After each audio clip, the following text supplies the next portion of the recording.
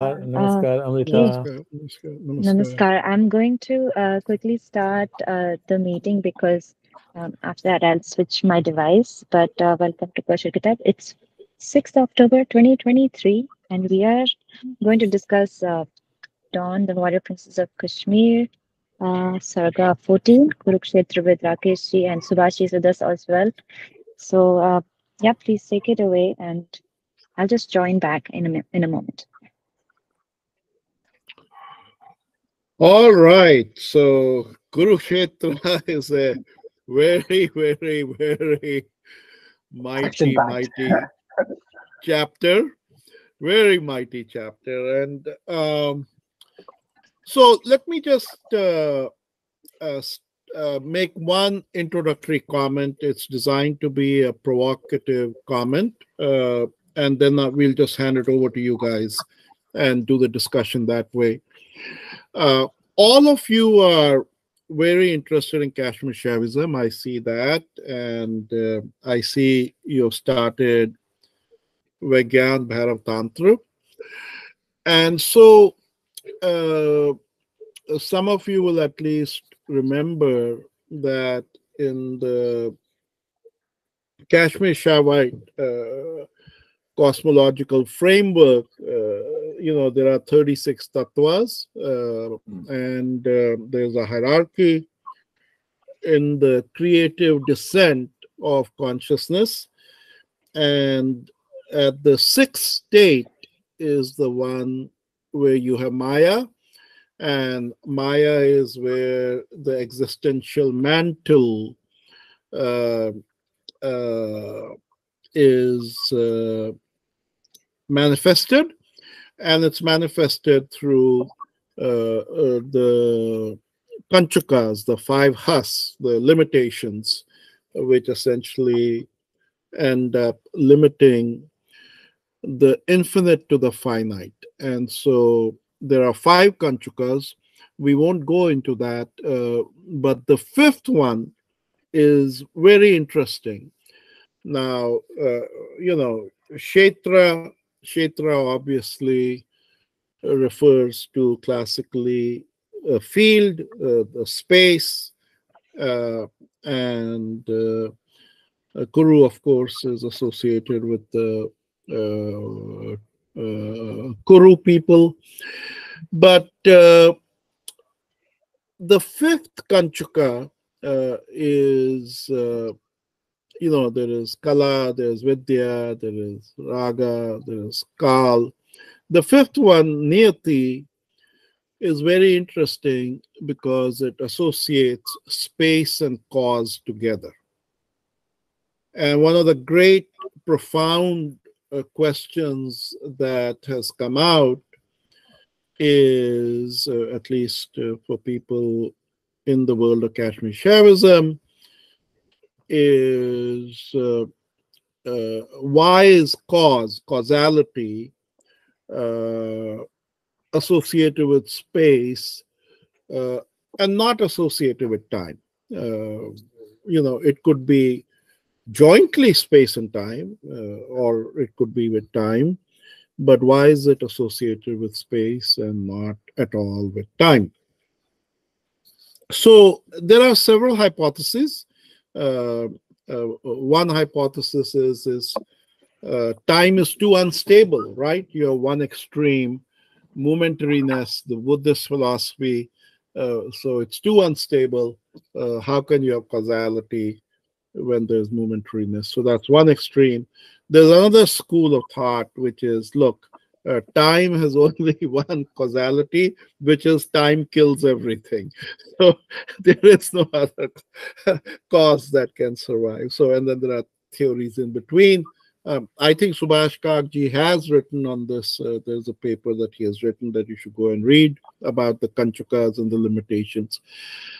But coming to our particular story, the basic thing is this uh, whatever exists in form and space has causality, has functionality, is always active.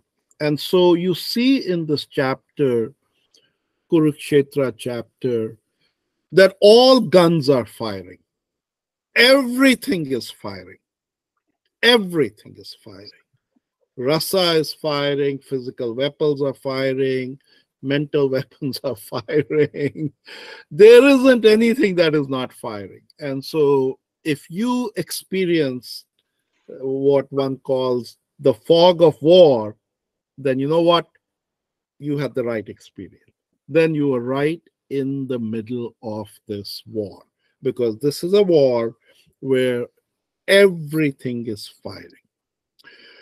So, with that as sort of a starting point, uh, my first question to you is, and we'll go around. Uh, we'll I'll ask a couple of questions, but my first question to you is, how did Dawn come across to you as a warrior in this chapter? Because she is the Arjuna of this chapter. And how did she come across to you?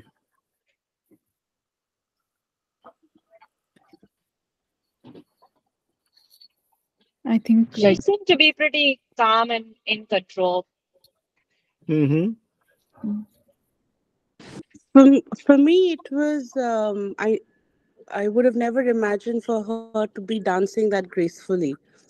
Uh, I know she always wanted to be the Rasika, uh, Mhm. and when I, it was difficult to imagine for me because you always have this uh, Xena warrior prince. I mean, I have the Xena warrior princess kind of an image, but this was someone who was Mhm. trying to bring out the rasas in uh, the five billion men Mhm. and the way that it's described it's so graceful and every movement is deliberate it it means you know taking her right left right leg over the left foot so everything is so deliberate and thought of Mhm. um, that's something that um, uh, struck me struck me the most like very graceful and the way that she wanted and the rasika image that she wanted uh, about herself Mhm. Yeah, and for me, in addition to what has already been said, I think the in spite of being such a good student, I mean, obviously she seemed to remember everything that she was supposed to do. Mm-hmm. There was doubt in her mind, like mm-hmm. meaning she like there was this point when she said, "Oh, this is my time. My time has come. They're going to, you know, those they're going to do the surgery on her and set, decapitate her, essentially." But then mm-hmm. it worked. It suddenly worked. Whatever she had been Mhm. doing suddenly worked. So for me, that almost seemed like she believed it after it happened. I mean, or maybe I should say that she didn't, she wasn't arrogant in her learnings and she was, uh, she was very self assured, but still she had that. I'm not sure what the right word is, but until it Mhm. happened she had that that uh, almost doubt but she didn't give up so but, but it didn't succeed so that's just something that i'm not sure what you call it but since we're talking Mhm. about a warrior i think a warrior should not be overly confident Mhm. yeah um so uh but she was very sharp very alert and and you know very um i think her execution was impeccable obviously Mhm. uh, so that that's what I'm, i have to say i'll stop Mhm. Okay. Good point. I thought. Anybody else? Sorry, did I cut somebody off? No, I was just saying that's a good that's a good point. I was thinking of that as well. Sorry. Mhm. I thought of her as a great general who had full Mhm. confidence in all her five people, uh, Mhm. started showing leadership qualities, used Mhm. beauty and brains both to execute what she had planned to do. And uh, in a, for a bit, she did act a bit, hu- she still had that human left, like her mom, you know. For a minute, she did think of her mom when Mhm. they were all getting ready for this. And that uh, was that was touching but Mhm. but yes i think over the chapters now finally there is a woman who is very self-assured and she's all Mhm. dressed up uh, she's using everything in her power to go out and fight this evil knowing that there is Mhm. every chance that they might lose but still going out Mhm. with grace grace under fire Mhm. basically that was what i thought yeah Mhm. I think that uh, that what we learned about going into the battlefield being the most beautiful self you can. Mhm. That Mhm. happen, uh, you know, through Dawn. Uh, I, I particularly enjoyed finally getting to read more about the Kuri lullaby, which I was curious about in chapter one.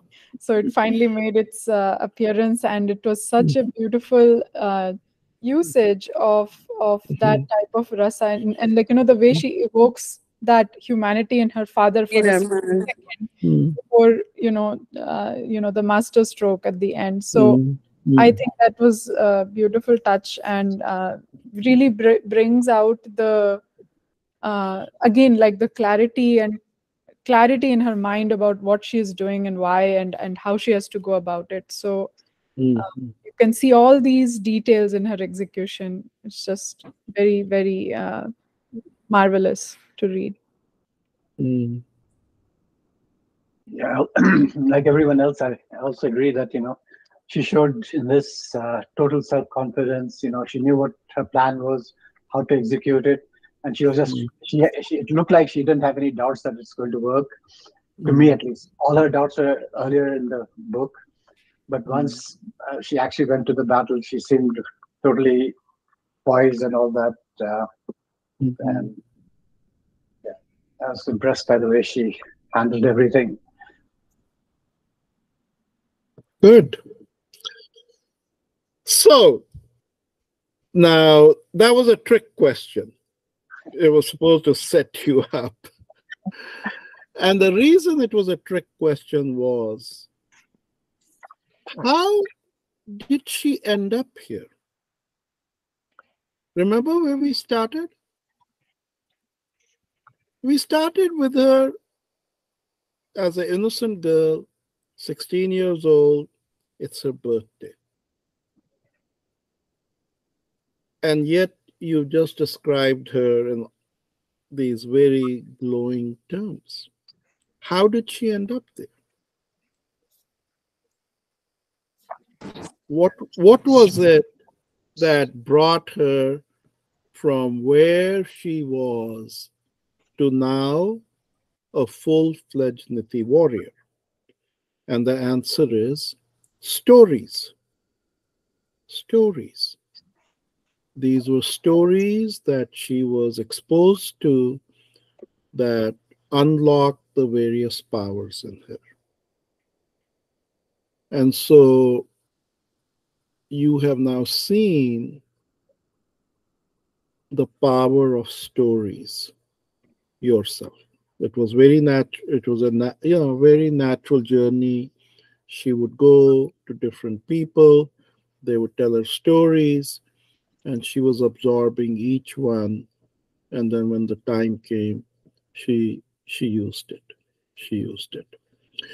But let's now uh, come to the second thing about Kurukshetra, which is now very relevant. This is clearly a battle between,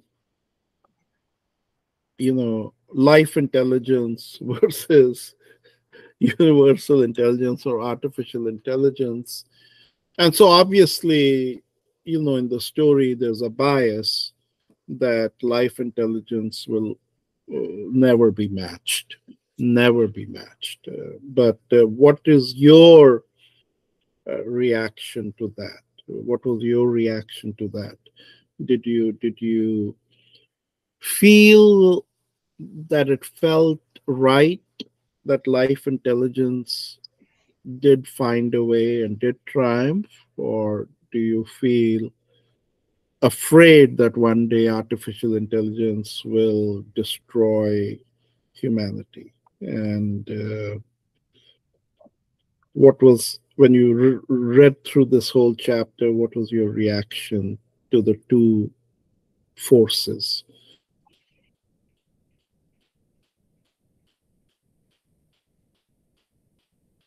I thought there was But- potential for collaboration. Hmm? What Potential was that? potential for collaboration. Between who? Sorry. The the life and That was artificial that was intelligence. a life joke. That was a joke. That was a joke. That was a joke. But it, it could it could be. I, I I won't completely disagree with you.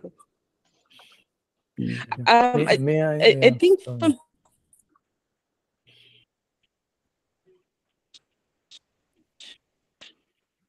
Go ahead. For go me, ahead, initially Subha. it looked like AI was Oh, was winning, but a lag. Okay. Yeah. Go ahead, Aarti. Finish your. Ah, yeah, uh, Atiji, please. Yeah, go ahead. Okay. So initially it looked like AI was um, winning, and uh, till the last moment, till um, the till you realize that the the the there's this thing about mind, mind, mind, right? Mama, mama, which Mm. AI had constantly fed, and everything was about the self and I. And suddenly Mm. that I shifted to uh, the emotion of dawn that got evoked in each of the men. So my my dawn. So like what they had what you could see is a selfish eye then because of dawn's dance and you know that evocative um, uh, dance that she did and it, it there was still some something that um, made people you know uh, those men think of their own daughters and those all different ones. Uh, and then it became my dawn and that was like the turning point where um, the gears shifted in favor of life intelligence. So, uh, so i think even though it seemed like we were losing eventually there was something that sparked uh, the life intelligence out and uh, that that changed the outcome of the the war as well Mm. so life intelligence in the end So, uh, I know Subhashji wants to go next, so why don't we let him go next? No, I just wanted to make a small point. You know, a lot of the uh, stories uh, from India are ultimately a um, kind of a, retelling of the mythic uh, fight between the asuras and the devas. And asuras are the body, devas are the senses connected most closely to the atma, right? Because the atma is the light, which is what gives the capacity to the senses to uh, make sense of what the world is. But so it's the body power, which you could call the AI power, versus the transcending power of the light of the Atma, Shiva. Shiva is like Prakash, right? So um, I, I think what happens in all these battles, when you read the Puranas or uh, all other texts, is that the Asuras become more and more powerful and then their own um, contradictions uh, lead to their collapse. You know, for example, if you look at the US now, uh, with its emphasis only on the body, now there is so much of confusion about gender, about this, about that. They're fighting, the culture is fighting itself. And this is like the mythic uh, um, Asur Dev Sangram that we have, or Samudra Manthan.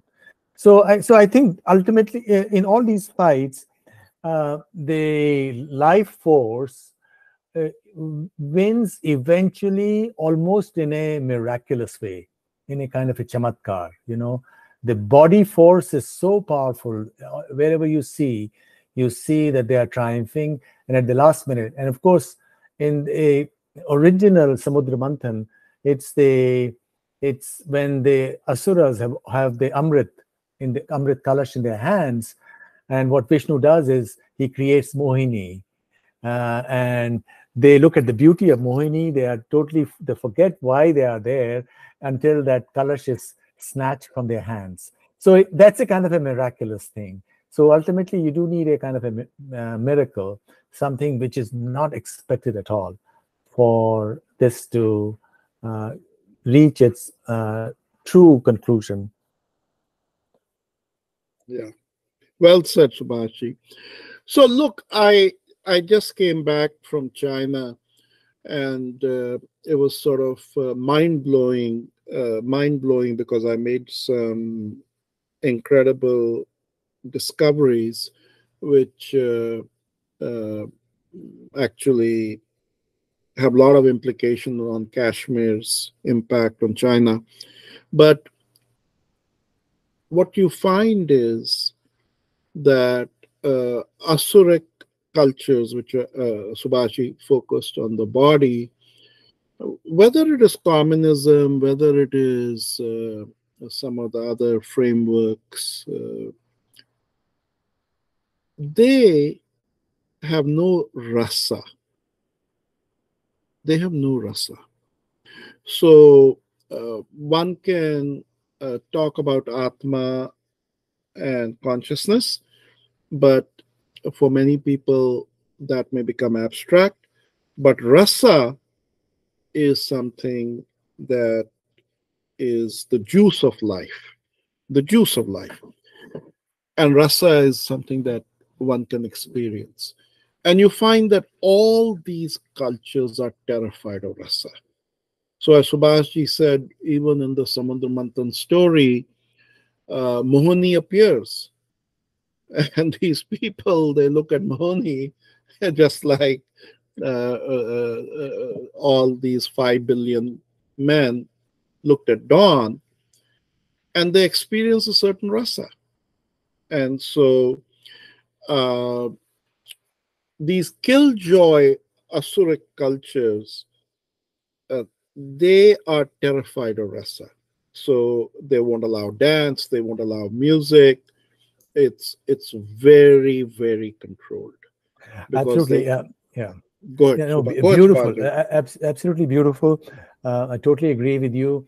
And uh, the most powerful rasa, you know, Shingar rasa, beauty right. related to beauty. beauty. And beauty. beauty is overpowering, which is why in certain cultures they don't want be- beautiful things to be shown because they're afraid uh, that will uh, somehow subvert them.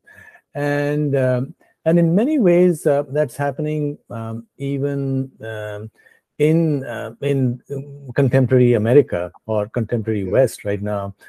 But um, there's um, there's one small point I wanted to make uh, uh, related to beauty, and uh, yeah. I uh, a couple of years ago I wrote a little haiku on it, which would mm-hmm. um, interest you. Maybe you've come across it already because I wrote it up somewhere in some essay. It's floating around, and uh, this haiku is just three lines. The first line is autumn moon alone the heaving pond. That's it. Autumn moon is this beauty out in the sky uh, alone. You can't reach it. The heaving pond is the individual, is water, the pond in the water on earth. It can never reach the moon, but it still is attracted, you know. So, this is the situation of each individual you know it's very subtle. It's very subtle and it's all captured in all the um, in all the descriptions even in natya shastra about uh, um, about the ashtanayikas and so on because they're communicating different emotions. So this is ultimately this tremendous overpowering power that uh, the uh, the the body culture cannot deal with. And ultimately that becomes the undoing. In fact, you know what's so interesting is that all the Puranas, which are so completely misunderstood by Western scholars because they're only looking at it from the surface structure, ultimately are talking of these very, very subtle things, very subtle ideas related to psychological states, related to how we we are also bodies and when we talk of we are bodies that's our mind see so there's a struggle going on with, between each one of us. The mind and the moon. The moon is that light that we try to aspire to, and uh, mind is our conscious mind, which is totally in the body. You know, so this all these struggles are all over. You know, outside in our imagination, in abstraction, and then within ourselves and within ourselves. And it's only when we go through this struggle that we can move forward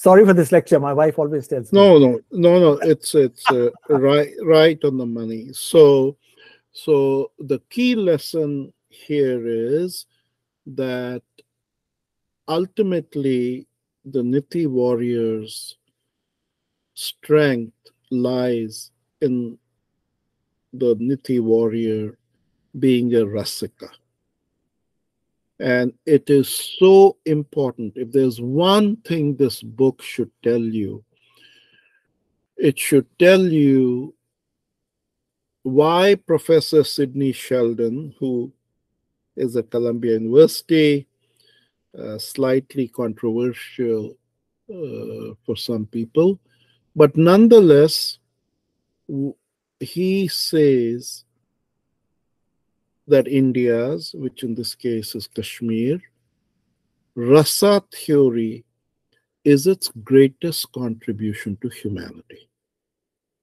So, out of all of the things that he has looked at, he has said rasa theory because it is not to be found anywhere else in the world. The best the West can come up with is aesthetics. Uh, beauty is defined in terms of symmetry, proportion, but nowhere is there the profound framework of rasa. So, if there's one thing I would say to you, it is study Kashmir Shaivism by all means, study Vigyan Bhairav by all means, and study all those. But you know what? In terms of daily life, understand rasa, become a rasika, celebrate dance. I often say this if your priest doesn't dance, run away from that priest. Run away from that priest. So, rasa is the fastest way to experience consciousness. Most of us don't want to become like Ramana Maharishi, who was permanently in a state of consciousness. If you want to be permanently in a state of consciousness, fine, go to the Himalayas. But for householders, which is what we all are, our ancestors devised this technology where we could very quickly experience and get a taste, a taste of the highest state and the power that comes from it. So that is the key lesson of this uh, uh, chapter. Uh, Niti Warrior is everything, but at the end of the day, the ultimate weapon the Niti Warrior has is they are Rasika. They know how to use that that weapon. And as uh, Subhashji said, the problem with the Asuric world today is whatever choices you have are ugly. Right? Ugly. Biden is seen as ugly. Trump is seen as ugly. That always happens in the Asuric world. They are ugly. Okay, let me turn this over to you now. Go ahead, each one of you, and ask questions and comments. Uh, we will just make the floor open to you guys. I just had a few key points which Subhashji helped me make those to you, but now we can start. Shruti, why don't you start first? Anything else you want to comment on in this chapter? Any questions you have? Um, I will say I love the use of uh, different kind of poetry and shlokas and kind of things throughout the throughout the chapter. It was very enriching uh, to see all the interplay there. Um, the the theory around the parasympathetic and central nervous system, the uh, the the the build up to the the different reverse sort of data deluge was was very enjoyable to read um Uh, and uh, just stop. Just stop Yeah. right there. yeah The central nervous system is a system of control. Hmm. The para system, PNS, at the end of the day, it is swatantra. Hmm. It is involuntary. You don't control it. Hmm. It is swatantra. And that's why it becomes a savior.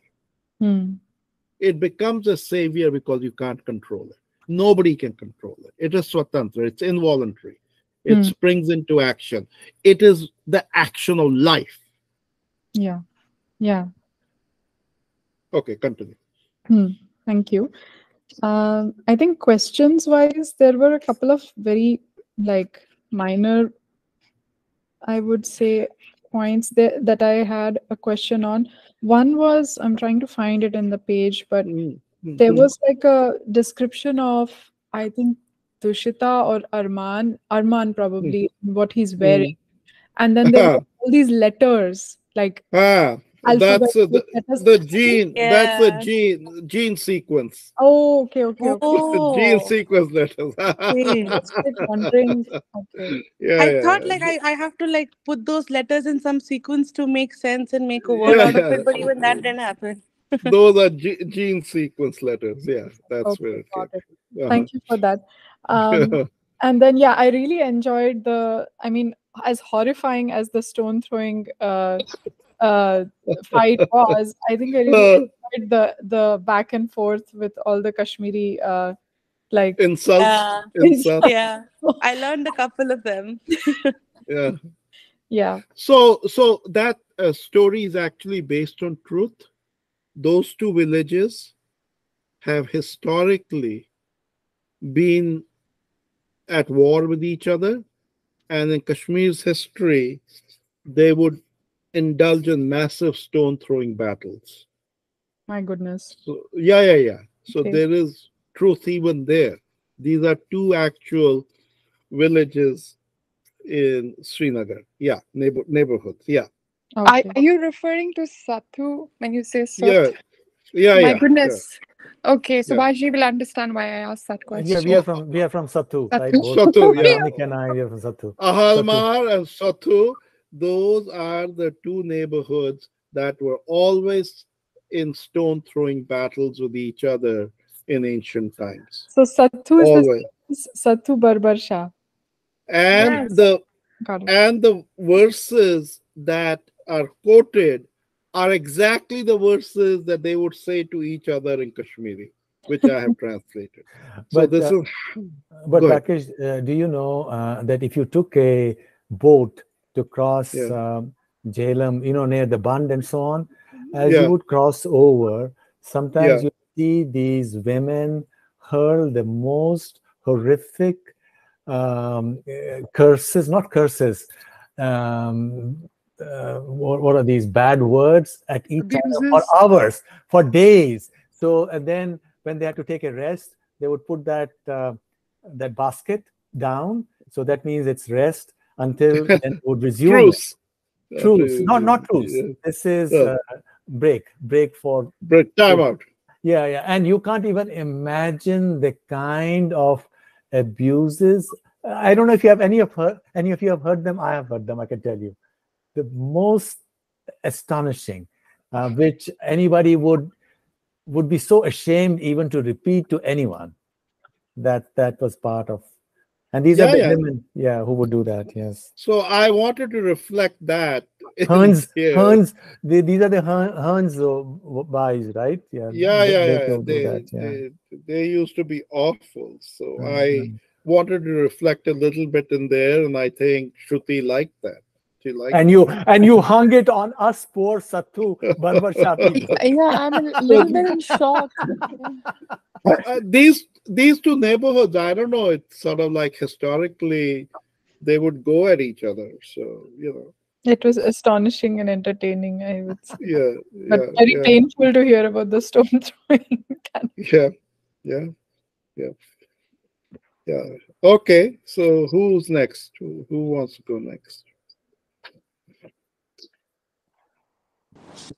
I'll go. Yeah. Um, besides what Shrutiji has already covered, um, there was this um, the thing that struck me uh, most was uh, the chanting of mine, mine uh, that's done across the stadium, right? Which is so much in contrast to um, what we know from Shaivism, right? Like I am Shiva and being detached with the self, or what you think with Nirvana Shatakam, detaching Mhm. yourself, and everything around AI and Arman was about mine, mamaha, Mhm. mamaha. So huge contrast there. That's what struck me. Um, you there's a mention of uh, when these two uh, were uh, around the stone fight as well that usually there's a representative from Palestine in the finals, but this year both are from Kashmir. I I didn't get that. Like why why was it a miss or why would it be someone from Palestine? I just put that in. Okay. Okay. just put that in. Okay. Yeah. So look, uh, the demon war cry, the demon war cry when they go into battle is mama, mama, mama, mine, mine. That's what they are fighting for. And uh, conversely, the devas is nama, nama, not mine. Not mine. Ah, okay. So, so it is, it is, uh, uh, it is the battle cry of the demons, mine, mine, mine. And at the end of the day, when you look at AI, ultimately it is nothing but a surveillance technology. I mean, China was such a frightening experience. I, I have gone to China now for the last 30 years, starting in 1990. You will be astonished that you won't see a single policeman in China on the street. They are all behind screens. Every square inch has a camera. Mhm. when you walk into the gate in an airport. You know in america or india anywhere else they'll take your boarding card they'll swipe it and then they'll say uh, have a good flight mr Kaul and you enter the plane. In china no such thing. You walk up there is a camera. The camera recognizes you and right on the screen it says 14a and the gates open and you walk through the gates and then they close for the next person. It's facial recognition. They don't even look at your ticket. Ticket can be faked. Your face can't be faked. So this technology it's all about your mind. I own you. I own you but go ahead continue Um, and then uh, the point that I liked was when Dawn realizes uh, that she's different when she walks in. Hmm. Um, and in seven seconds, the jarring noise slowed, stumbled, and then died down. And there's Yeah. this moment where she recognizes and says, "I was different." Like you, you feel, you feel that um, she's come a long way, like you said, from Yeah. when it started on her birthday and what she has come for now. yeah. Um, I, I like the reference on um, the Leela that you said uh, when Shiva comes, Shiv comes to meet baby Krishna. That's a Kashmiri. Leela, right? Sadhbhat Shankar. Yeah. I love that. And I love the reference for it. It's very sweet That's it's very sweet Yeah. And it's Yeah, like, yeah. it's a story, like it's something which is made into a story, right? Like the conversation that happens between Yashoda and it's so Yeah. beautiful. I, I like that. Uh, I Yeah. liked how um, uh, throughout that time, even though this, um, she keeps on recalling the lessons that she's learned along the way as well. Mhm. Uh, what Meghavahana did, uh, sorry, uh, Mool, they were taught to think beyond the limits, and then Patanjali talking about the stillness, and that's when things will come to you. You will mirror the self. Um, even with these high intense situations where it's a matter of life or death and conquer um, or die for life, she she keep she has that um, uh, stability in her mind and equanimity to, to keep reminding herself of the lessons and not just purely be driven by instincts, which is a huge contrast to how the the the heat movement was growing and you keeping a tra- we're keeping a track of how the temperature is rising and going and everything so reactive with uh, AI man, but with her it felt like very conscious and and deliberate um I like that bit. I, I had a question also to something that you said earlier about experiencing all the rasas Mm. because there's there's all these rasas and emotions uh, which are beautiful of course but then there's also the side that you have to find your your peace or the calmness and that's when um life i mean that that's when you will mirror the self and that's when you become one with god so you've got these rasas that you want to experience and then you also want to can you be still it's the stillness of mind that patanjali refers to with trying to experience all these rasas as well how does that happen it's either Yeah. or Yeah. So uh, the whole purpose of rasa is to actually free up the mind. Your mind is right now trapped. It's trapped. Remember that famous scene when Yuva dances Mm. and then they talk and he says, What were you thinking about when you were dancing? And she says, Um, "Oh, I, Nothing. I wasn't thinking about anything. That's what rasa does. When you experience rasa, your mind basically is not in control. You've gone beyond the mind. You've gone beyond the mind. And so that's why I say don't tell people have a good day. Tell people have a wondrous day. And you should try to each day create a wondrous experience for yourself. It can be as simple each day telling yourself, I am going to take time out and smell the fragrance of a flower. Or I'm going to savor a piece of chocolate.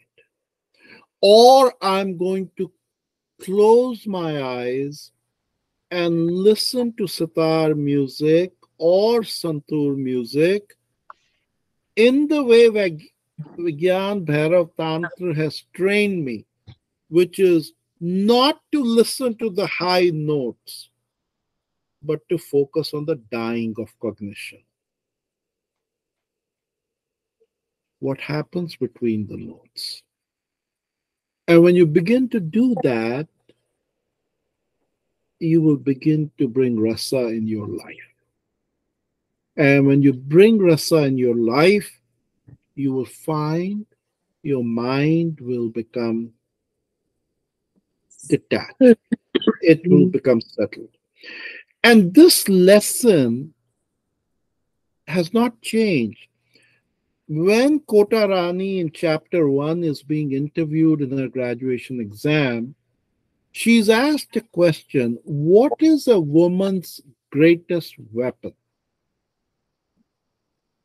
And she answers that a woman never loses her presence of mind.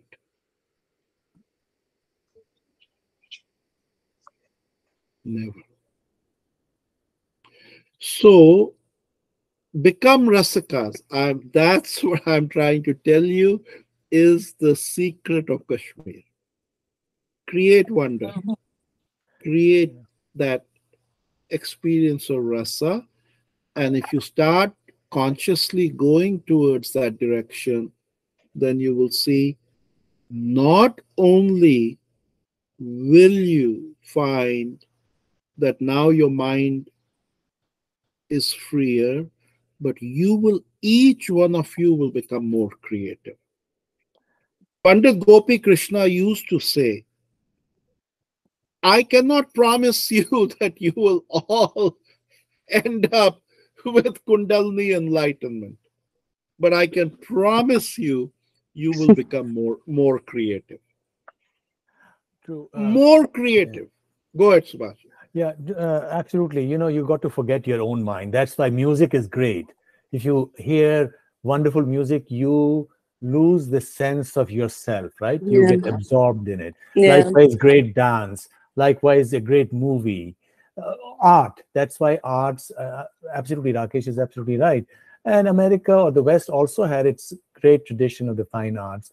But right now, everything has been cheapened. You know, you have the social media, the internet, and internet has some good stuff but it also has some very, very bad stuff, especially for children who don't know how to deal with that. And likewise, you know, elsewhere. So I think this is a this is but but certainly I totally agree with Rakesh. Uh, the power of rasa is that you uh, forget who you were. And in fact, number five or n- number six of the Shiva Sutra, Shakti Chakra Sandhane Vishwa Samharaha, which means that when you are one with the chakra, Shakti Chakra within you, then the Vishwa goes away, destroys.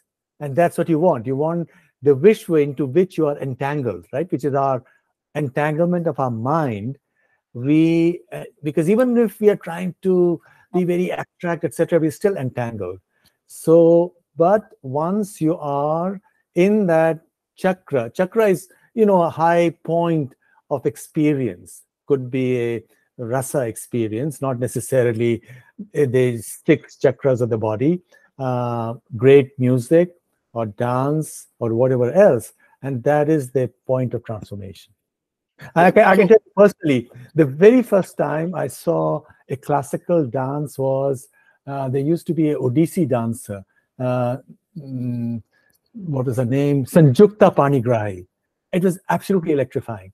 Some of the electrifying experiences of my childhood is once when I saw her, Sanjukta Panigrahi. The second was when I read Kathopanishad, you know, the story of Nachiketa and his conversation with death. Absolutely electrifying.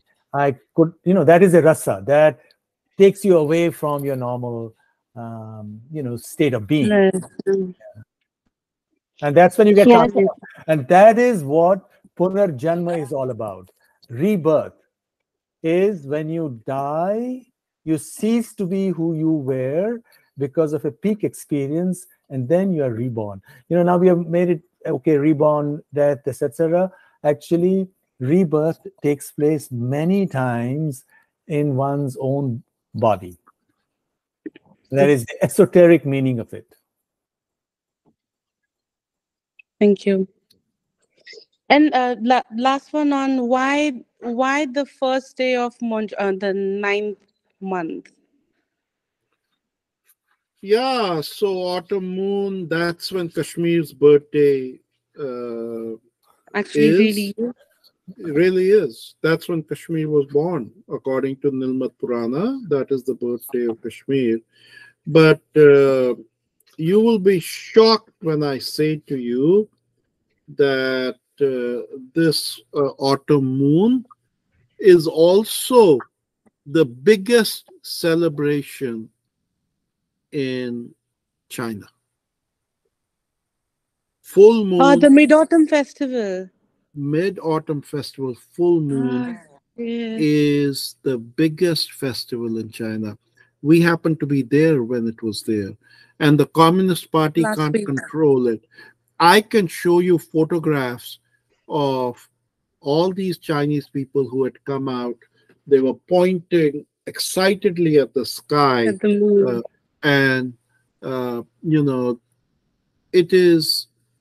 And I think I've already told you once before that uh, unlike the West, when they think of enlightenment, they give you a golden halo and all that stuff. I've already told you, not so in India, not so in Kashmir. In Kashmir, we associate enlightenment with moonlight. Sharda is in the moonbeams, and she is most powerful in autumn on full moon. So that is the night when dawn has maximum power because of that autumn Sharda light. Awesome. Thanks. So amazing stuff. You know, I I feel I, I have so many thoughts. I should start meditating, but I have I I'll try to organize my thoughts. Uh, firstly, I want to say we should be really grateful that the, the teacher to uh, student ratio in this group is uh, kind of amazing. um, I don't think I, I I don't think I can stress enough how much how fortunate we are really. Thanks thanks to both of you. And um another thing I wanted to just say that Sh- you mentioned Odissi and Shruti actually learns Odissi dancing. So that is something that I wanted to mention.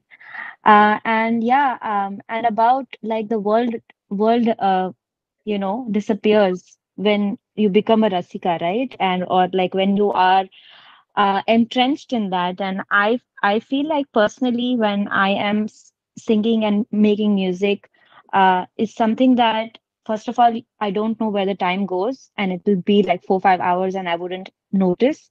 And also the sense of space goes away. Like basically you feel like you're in a black hole uh type of a feeling. Like you feel like there's nothing. So um it's a great feeling to have and um uh, and i'm i'm like on a journey of like this to just satiate my curiosity uh, to see when people say, "Oh, if you're enlightened, you'll be in that state forever." So that would be awesome, right? Uh, but at the same time, I'm very afraid after like reading and um, you know listening to people talking about Kundalini rising and stuff. Anyways, forget about that thought now. But I have a question, a question on the book, um, on the chapter. Uh, when uh, so this is like a basic question. So uh, uh, and because I got a bit confused with peripheral nervous system. You mentioned that it is obviously instinctive. It's not in your control. Uh, it's something that is more like uh, to save your, um, I would say, uh, like uh, savior instinct or something like that.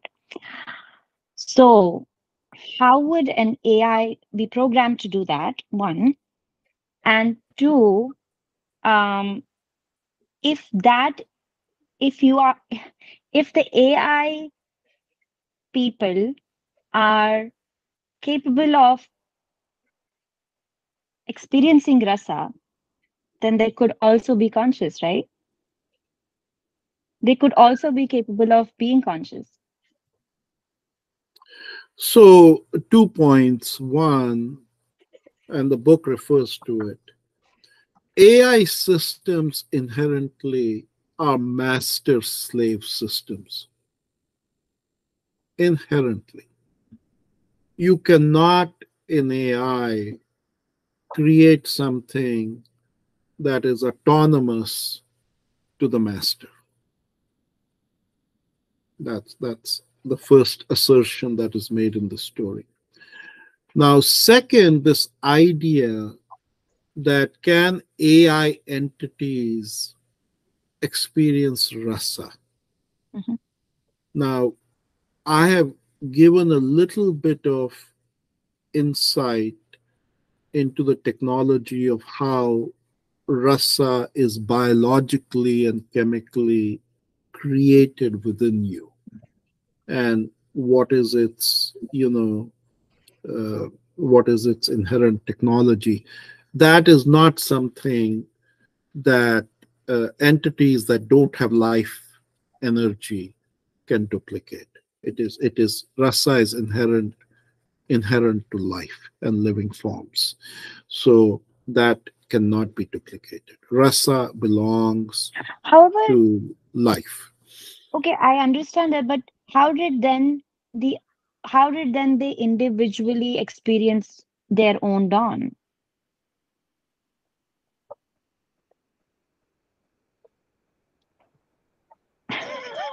Are you smiling at me? what what what The- i'm embarrassed to answer that question if you have a room uh, uh, let's say you have a theater uh, with uh, 500 men and a gorgeous beautiful woman walks on the stage what do you think is going on inside the head of each man Okay, no, They're that's each- fine.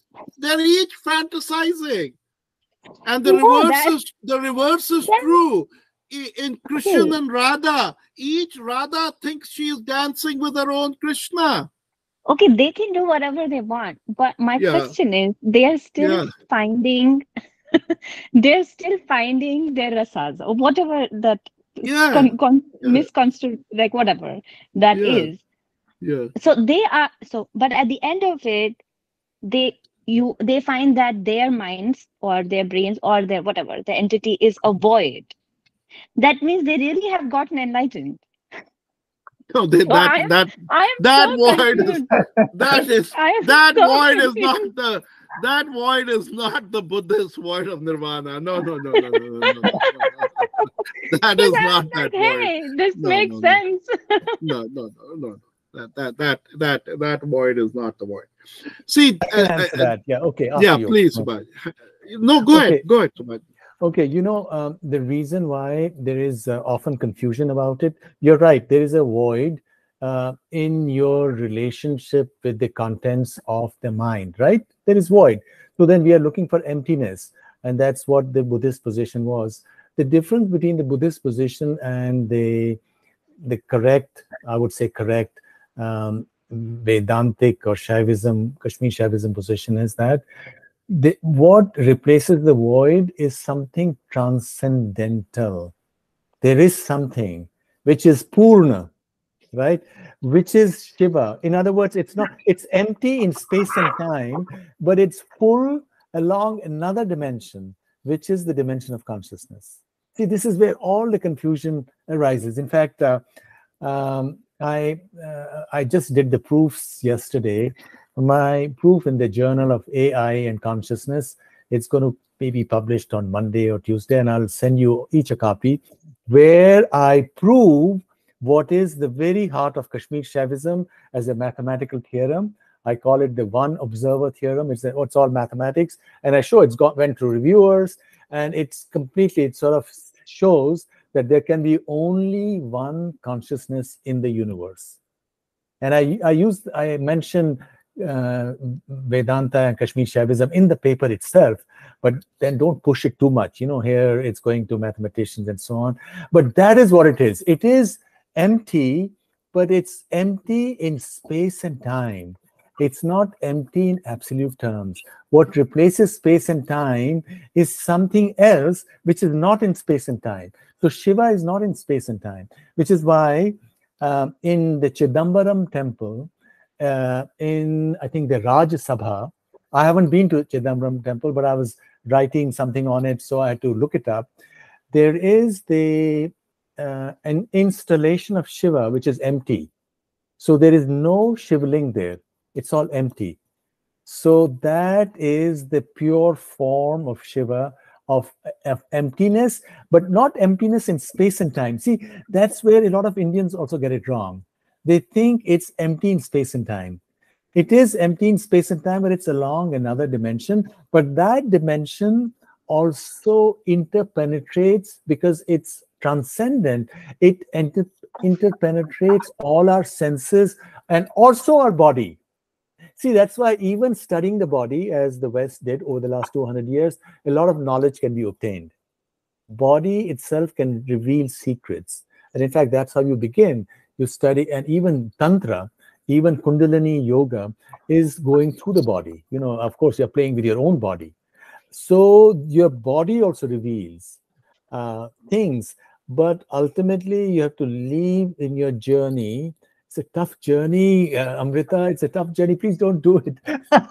in, this, in this journey, eventually you reach a point where, and what it really means, let me tell you, what it really means is that you realize that your true self is not what you do, but you are still connected to it. You know, that's where you read in all these Vedic books and Kashmir Shaivism that you are in it and you're not in it. So you are while in it, you're not of it and you are content. That's what means that you are uh, you have reached enlightenment. Enlightenment is that state of contentment. When you are in it you are in space and time and still not off space and time. You are in your body but still not off your body. And what that really does and let me go to krishna then the story of krishna. What it tells you then is that ultimately the detachment the virag that you read about in uh, in the Bhagavad Gita gets translated into love for everything, you know, into empathy, and that is the frame, the path of love, right? So it's a kind of a very amazing situation which cannot be expressed in any simple AI formula. Wait. Subhashji says, don't do this, Amrita, and then he'll be so excited and passionately saying about this. because Amrita, this is the path of the warrior. And when you are a warrior, you're on the battlefield. And on the battlefield, unless you are very guarding yourself, very you're totally protected by shield, you can be killed any moment. I, I did say I'm afraid. Yeah, you have to be afraid. You please be afraid. Without fear, you cannot get in the battlefield. The fear should also no, protect no, you. I will be taking a drone and seeing the big picture. Don't worry. okay. Don't you worry. I'm only curious. Uh, I don't want to be fighting anything at, at this time. I'm too scared for all that. All right. Thank you so much. All right. Who wants to go next if they have any last? I, I had a s- uh, question. Yeah, Rajendra. So it's it's this whole question of you know people talking about you know well humans are conscious, but is can AI be conscious? I think that has always been to me that has been a totally uh, illogical question, especially based on Kashmiri Shaivism. There is only consciousness, and uh, this body and this you know whether it's an AI thing or whether this is this body that is me here right now, it's just a body. You know, it's it's just a piece of jad, right? It's not consciousness. It's consciousness is uh, is the thing that is animating this body. It's the same thing that is animating AI also. It's animating everything. This whole universe is being animated by consciousness. So there is nothing but consciousness, and our mind somehow splits it up into these forms and objects, into space and time and all this thing. It's just a creation of our mind, and we are not uh, we are we are not supermind enough to be able to think of it in as one single entity uh, as one single consciousness. But i think the what what shaivism has been kashmiri shaivism has been trying to tell us throughout is that at a certain once you get if you can uh, if you can tune yourself in a certain manner you can reach a state where you start realizing that you know your way of thinking of this world as uh, as yourself as this human being is a very flawed thing and that eventually you know you are you are just part of the you're part of a whole big thing and there's there's no you separate from anything else you know there is only But- one thing as you were saying Rajendra, uh, the um, body is like money. It's good to say we don't care for money, but it's good to have money in the bank. Do you see that? Uh, so we love money, we love body as well. yeah no i mean i'm not saying that we do that we uh, but it's our thinking mind that does that right Right. and uh, but the consciousness that is beyond the mind beyond everything is the one that is actually animating our mind But of course, Western thought will say that there's nothing beyond the mind, it's only in our brain. And I this is a big, big leap. If the West were to accept our in the Kashmiri or the Indian position, that will mean that the world will change. But right now, uh, the people who make policy decisions are people who live their lives, most of them, but excepting for a small minority, and believe that uh, mind uh, or consciousness is a product of the brain. And, and so it's incidental, and the only thing that matters is the body. And it's a very powerful message, also. And our own young people or young people everywhere get seduced by it. It's a very powerful thing. And you can't just say it's not, it, it- just ignore it, because after all, while we might say, I am the bo- I am in the body, but really, I'm still the body. Do you see that? There are all these Yeah, so I mean, so this is this is a question that is being right now actually being even in the Western sciences. There's this thing called the hard problem of consciousness versus the right. simple problem of. con- So there's a simple problem is you can find correlations between the way you observe things and you know between the way you react to things and all that. But the hard problem is to actually say what is the uh, the smell of chocolate? Where does that come? You know, uh, is there any? There's no way to correlate that with anything else. What makes the smell of chocolate the smell of chocolate that is in you know for you? So this is the way they kind of put it. You know, what makes a bad uh, sense of the world its sense of the world? You know, as as opposed the brain can only do some correlations, do things like that, but it the actual uh, actual consciousness part of it is something which is kind of separate from it, you know. And and I don't think, I as far as I can see, they have come to anything close to uh, solving that problem. Yeah, let me if- let me let, let me steer us back to Amrita's question and let me try to help in a different way. Okay.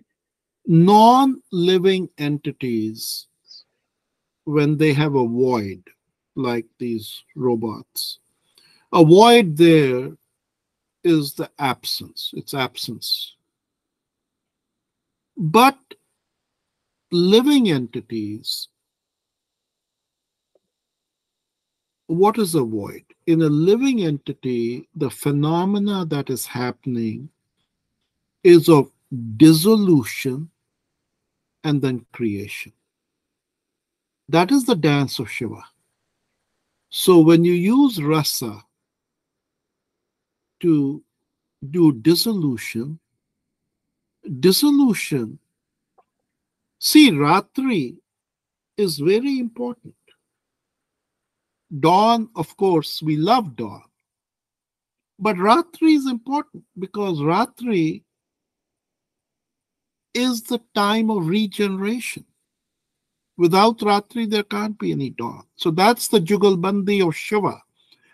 And that only life can have. So when Subhash says to you, listen to music, what he's really saying is experience that dance of dissolution but assuredly the dissolution will be fo- followed by creation. And that's where that differs from the void or emptiness. Dissolution and emptiness are different. Yeah, got it, got it. They basically it. got short circuited. Yeah, they got short circuited. They got okay. Got it. Any last things? Uh, this was a very, very important chapter, and uh, Uh, There was I a have a lot question, uh, Rakesh. Uh, which uh, did you go to any of the India-related places in China on your trip? I, I, as I said, my whole trip was focused on the Buddhist temples, Oh, I see. and I uh, made some uh, stunning discoveries, which I will share with you and discuss with you. And when it's fully baked, we'll talk to this group about it. But uh, Which, which places did you go in China? I basically went to the northern part. I went to Beijing, which is where you have a lot of imperial Buddhist temples. And then I went up north, four hours away, to a city called Chengde. And Chengde has a lot of Buddhist temples. And uh, so, uh, lot of interesting, interesting discoveries. The autumn moon uh, Mid Autumn Festival was just one of those serendipitous discoveries, but uh, there were other more important discoveries. And did I you think meet any, sorry, I was going to just ask, did you meet any uh, Chinese who actually were able to look back upon the, you know, the commonality or the uh, back and forth that that had actually, uh, you know, some of the Buddhist thoughts that had traveled all the way from Kashmir to the, were there any people who have that thought process, or was that something that you were able to just discover on your own? They have completely lost it. They have lost all of that knowledge. They are so clueless. have robotic, lo- right? They have completely lost all knowledge. You know, and it is it is a huge opportunity for India uh, to you know there are 300 million Buddhists there. Huge opportunity for India. Yeah, go ahead, Amrita. no, I was saying that 1.4 billion uh, robots, honestly.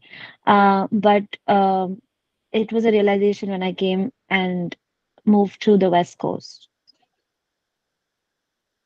It it's like uh, there's a lot of people here in Bay Area, and the majority are uh, Indians and Chinese, and um, it's it's very difficult. Um, it's very hard to see people like uh, that.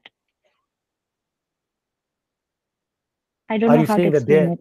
that even in the Bay Area, most people are like robots. AI rules, not only in China but even no i'm i'm saying that you know that it's it, i i don't see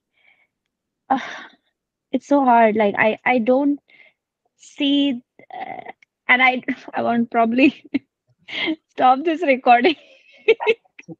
But uh but i feel like um i feel sad that there is so much of rasa that can be experienced and somehow i am unable to understand how they feel fulfilled But um, uh, Amrita, I think that's true all over the world. Most people live like AI. See, this is, I think this is the deepest lesson of this AI unfolding revolution of AI. What uh, society will realize that, first of all, most jobs that people do are like AI jobs. People could be replaced by machines. And so, and most of our lives also are near us, you know, without rasa and and so i think this this will also confront people with their own solitude or their aloneness kaivalya right aloneness and this i think personally there's going to be a huge crisis across the world um, there will be wars there will be this and that and i don't know how people will deal with it uh, on their own um, Yeah. because yeah it's good i i mean it's sad i i just had like this question of when i came here and now that you're mentioning uh, that you visited china rakeshji i was just thinking like what is the value system that you would think is of chinese right currently of common people So look, uh, I've been going to China. I was stunned that uh, the standard of living of Chinese today, I think, already exceeds that in America and in Europe. When you adjust for purchase power parity, their standard of living is they live in better homes, the cities are spotless, they drive better cars, the they wear better clothes. Uh, so it's been a miracle what the Communist Party has done. so so the value system is materialistic right isn't it v- very very much materialistic and uh, and so you know in terms of their objective function uh, they've certainly they've certainly achieved that and so uh, but it's very materialistic yeah. It's very but I, it's it upsets me because i feel like there's so much out there. I i don't know like i just don't understand it actually. I'm like so sad. But it's but hard to make amrita conversation also sometimes. But Amrita, Chinese uh, culture, if you go back into history, is a material culture. You know, they, they they didn't have religion or spirituality of the kind exists in India. Uh, Confucianism is just worship of the elders or the ancestors. So they, by nature, by their culture, they work hard. They are smart. They just work hard. They want to uh, achieve for their family or for the glory of their ancestors. So they're practical people and Mhm. and, and that's why and since they are disciplined that's why truly in a in a uh, fair competition europeans and certainly not american americans can't compete with them they lose to uh, the chinese. Uh, and um, and you know and there are other things as well. Uh, just this 200 schools were um, in were surveyed in maryland. This story came out a couple of days ago. Only 5% of all the high school graduates know math. You know americans are not disciplined. Young people and and and also let's not forget it's also like European- karma Euro- yoga maybe you know european supremacy is a blip in history. I think that uh, singaporean foreign minister says this often in his lectures. Uh, the last 200 years when europe has been supreme just a blip in history. If you go back into history it's been china and india. You know most of the world's uh, domestic gdp has been china and india. India in fact more than even china. And it's going to come back to that. India and china would be uh, at the top. And that And I I'll I'll add Amrita that I don't think all is lost with the Chinese people because I personally last week I have a Chinese colleague of mine at work and she had the most beautiful like mythological story to share with me about some uh, I think around the autumn uh, winter fest uh, autumn moon festival itself. She told me this uh, marvelous story. I'll I'll have to have her recount it to me again for more details. But she said there there is like um, you know like the the idea of that there were initially i think 17 or 19 suns or nine suns that that existed in the sky and then there was some event took place and now only one sun remains in the sky and uh, there were these two lovers and they got separated and the woman lives on the moon and so every autumn winter fest uh, autumn moon festival they say that the the, the woman is peering out from the moon looking for her uh, beloved on the earth so there are all these stories that i think we need to hear more from them. They're hidden they're untapped undiscovered. Maybe they're known to the chinese people but we we should hear more from them. And you know they have their own richness in in their stories that we can see parallels to our stories and our mythology i'm sure. So yeah. Well, it's interesting you mentioned that story because I have used that story in the latest novel that I have written. And so that story uh, is is a very very interesting story. And I, I i i do agree with you. I personally think that chinese poetry is probably the greatest poetry especially chinese poetry that's written by women. But i'll give you one example of their value system. Maybe when i get my act together uh, we'll i'll i'll walk you guys through my uh, trip to china. But i will give you one thing that is very striking one of the most beautiful gardens in Beijing is a garden, it's a huge garden, but imagine uh, Martand or Avantipura multiplied 100 times over. Mm-hmm. Shattered white marble palaces, temple, just shattered and blown away but unlike India, what the Chinese have done is they've kept the broken pieces the way they are, but they have created lakes, and each stone has been put on a pedestal.